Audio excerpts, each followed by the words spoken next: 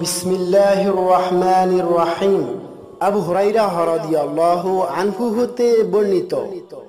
তিনি বলেন, রাসূল সাল্লাল্লাহু আলাইহি ওয়াসাল্লাম বলেছেন, যেই ব্যক্তি আমাদের বিরুদ্ধে অস্ত্র ধারণ করবে, সে আমাদের দলভুক্ত নয়। আর যেই ব্যক্তি আমাদের ধোকা দিবে এবং প্রতারণা করল, সেও আমাদের দলভুক্ত নয়। তাই মুসলিমদের বিরুদ্ধে অস্ত্র ধারণ করা, মুসলিমদেরকে ধোকা দেওয়া, যারা মুসলিমদেরকে ধোকা দিবে, তারা রাসুল সাল্লাহ আলহি ওয়াসাল্লামের দলভুক্ত হিসাবে গণ্য হবে না। এই হাদিস থেকে বোঝা যায়। সহি মুসলিম, অধ্যায় এক ইমান ও বিশ্বাস, হাদিস নাম্বার একশত চৌরাশি, হাদিসের মান সহি।